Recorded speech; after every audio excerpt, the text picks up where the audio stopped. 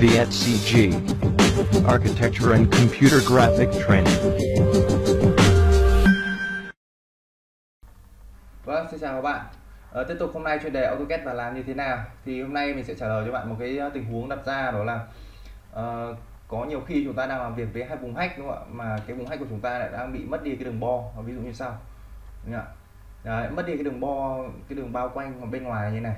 Thì chúng ta sẽ cần phải làm như thế nào để chúng ta lấy lại được cái đường bo cho nó, đúng không ạ? à, nếu như chúng ta mà có thể vẽ lại được thì gần như là rất là khó. Để chúng ta có thể vẽ lại đường này rất là thủ công và gần như chúng ta sẽ không bắt điểm được vào hack đúng không ạ?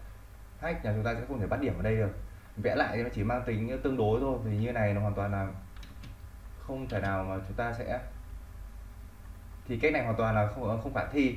Như vậy liệu rằng chúng ta có cách nào trực tiếp bằng AutoCAD mà chúng ta phải lấy lại được hay không thì đây mình sẽ giới thiệu các bạn một cách trực tiếp bằng phần mềm AutoCAD nhé. Thì tại đây bạn kích vào cái vùng phần hack các bạn muốn lấy lại cái đường bo của nó nhé. Tại đây các bạn sẽ chuột phải này nhé, kích vào chuột phải. Sau khi chọn hack rồi các bạn kích chuột phải và chọn vào hack gì? Hack edit. Đó. thì nó hiển thị ra cái bảng hack edit này. Thì tại đây nó có một cái ờ, vùng này là recreate body là cho các bạn lấy lại đường bo. Như bạn chỉ việc tích vào đây thôi. Đấy, sau đó tích vào thì bạn thì nó hỏi chúng ta là cái đường cái đường cái đường ờ, bo của hack ấy thì nó sẽ là đối tượng nào? Polyline hay là region thì thông thường các bạn ờ, uh, region là, là cái là cái đối tượng đường bo dạng miền nhé còn polyline là một cái đường ờ, uh, polyline như bình thường thôi. Các bạn thông thường bạn nên để là polyline p nhận sau đó bạn nó hỏi là các bạn có muốn tạo cái liên kết giữa hack với đường bo hay không thì bạn chọn yes. Đó. và nhấp ok thì ngay lập tức thì cái đường bo hack của bạn đã được lấy lại. Điều trợ nó sẽ bo theo chuẩn đúng theo cái đường biên của hack này. Đấy, rất là hay đúng không ạ? Đấy. ok mình sẽ xóa đi thực hiện lại nhé. Đấy, các bạn kích vào đây. Hoặc là các bạn có thể kích đúp vào nhé. Đấy. Bạn kích đúp vào đây.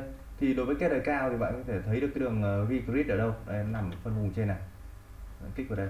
Nhạ. thay vì chuột phải thì bạn có thể kích vào đây thì chọn vào V-grid và chọn vào polyline này. Regrid uh, boundary và chọn yes. Nhạ thì nó sẽ xuất hiện cho ta một đường bo bo theo. Thì đường bo này đối tượng nó nằm ra thuộc layer nào đúng không ạ? Tại vì sao lại không mang theo màu vàng như của cái vùng hack đó? Thì nó sẽ nằm trên cái layer hiện hành mà chúng ta đang để ở trên này để chưa nếu ạ. Đấy, nếu các bạn muốn gán ra layer khác thì bạn sổ xuống và gán cho nó một layer khác. Đấy, ví dụ như vậy. Thì đấy là cái trường hợp thứ nhất đúng không ạ?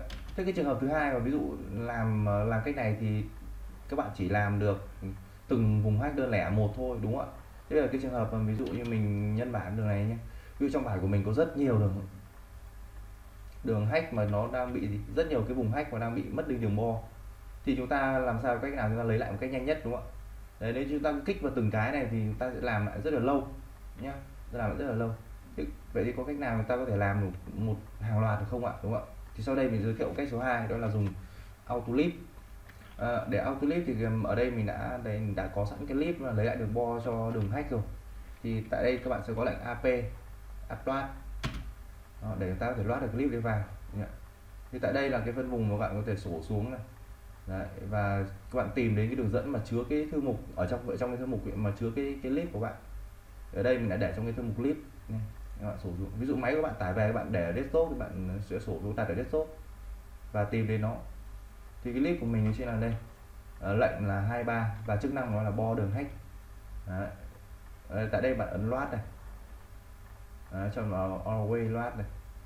Đấy thì tại đây nó thông báo là clip này đã được loát thành công. Như vậy loát thành công là các bạn có thể sử dụng được cái lệnh là lệnh à, 23 các bạn nhập 23 vào cái cái cái dòng comment ấy. Đó vậy là các bạn có thể là sử dụng được cái lệnh này rồi. Thì tại đây các bạn có thể lựa chọn được gì?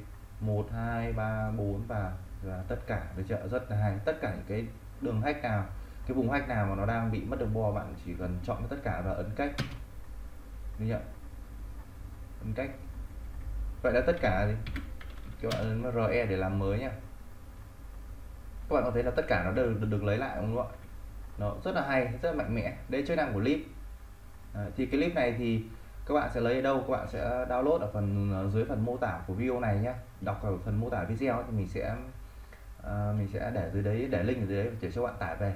Đấy, thì ờ, dựa trên hai cách này thì các bạn có thể là lấy lại được cái đường bo của hack và phục vụ cho tốt thật tốt cái cái cái công việc hiện tại của các bạn. Ok chúc các bạn thành công.